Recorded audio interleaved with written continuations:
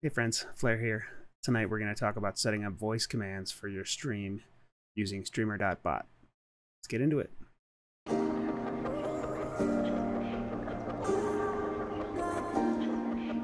Okay, let me give you a few examples from my stream where I've used voice control to control the actions within streamer.bot.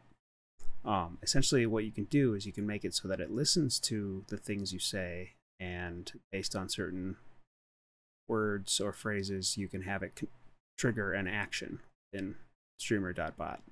That's uh, the gist of it. Um, you can do fun things. I have, um, like if I say the word glasses, there we go. Um, also, my death counter is tied to voice control, so I can say reset deaths, increment deaths, decrement deaths, um, and it controls my death counter so I can keep playing um, and not have to type commands or things like that.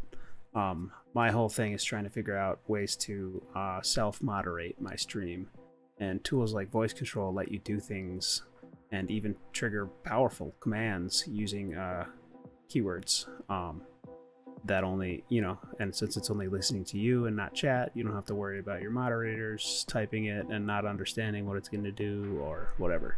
You do have to worry about accidentally saying the word though. Um, another fun one, uh, I could say D20 and it'll roll die for me. It's one of my favorite. Oh, nice. That's a good omen. All right, let's show you how to get some of this set up. I'm going to use one of my favorite examples of voice control for my my own stream. Um, uh, basically, when I say the word duty, which happens a lot in Final Fantasy XIV, which I play, I want to trigger this action that I already have set up that plays a sound and shows a GIF um, on the screen. Uh, that's how I pronounce it. Don't at me. It's GIF, not GIF. Um, anyway, I want to say the word duty and have this action trigger. Very first thing you need to set up is go into settings here under voice control, make sure it's using your audio input device correctly, and click start listening. If you have it on auto start listen, you don't have to come in here and start it. It just starts when the when the bot starts up. There's also a confidence threshold you can mess with. Um, basically, the idea with that is if it's not sure what you said, you didn't enunciate really well, um, then it if it's not totally sure, or if it's like in this case, if it's not at least 10% sure, it just drops it and doesn't doesn't fire anything.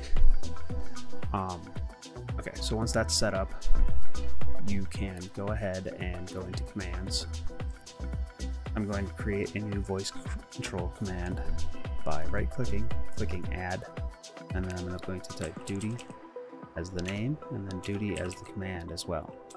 The command is what it is actually listening for, whereas the name is just the name on this list. Oops.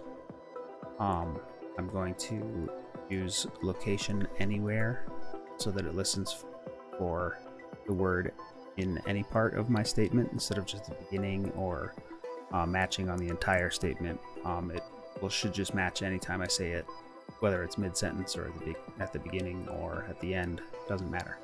I'm also going to check stop after, as I found that helps with the anywhere location. I'm not exactly sure what that does, to be totally honest. Um, and then I'm going to select the action itself. Uh, I'm going to press OK, and we will see if it works. Now, if I say the word duty, should trigger that action. Duty means poop. It does. There we go. One problem I found with setting up voice commands is that I don't always enunciate everything properly, especially when I'm in the middle of a boss fight or whatever, and I'm uh, or I am just speaking too fast or whatever. Sometimes what I say doesn't come through to the bot the way that I would expect because it's a computer and it's just guessing at what I said. Um, the nice thing is, inside of streamer.bot, that under the voice control tab, there's a log where you can see exactly what it thinks you said each time. Once you pause, it gives you a new line of what it thinks you said. so this is infinitely useful when you're setting up voice control. Um, I've used it to also set up additional commands where uh, it commonly commonly thinks I'm saying something different enough that I wanted an additional command to catch that and trigger the same action. An example of that is my poke catch command. So if I say poke catch, um, it will type it out for me, type the command for me so I can play that Pokemon community game catch in the middle of my gaming and not have to stop and type. And um, it's great. So, unfortunately, sometimes it thinks I'm saying poking catch and not poke catch. Um, so I set up an additional command to listen for that. Once I once I found in the log that that's what I thought I was saying, I set up an extra command for it. Um, so that's just a tip that'll help.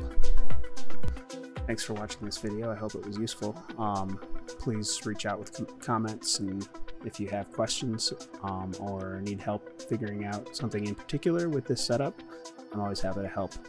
Um, I find, I feel like it's my duty as a streamer to share my knowledge. Duty means poop. It does. That's right. If you thought this was uh, useful or enjoyable, um, please subscribe uh, like the video, add comments if you can. I'm happy to answer any questions, um, uh, suggest new topics for further videos, um, whatever you can. Share it. Love you. Bye bye.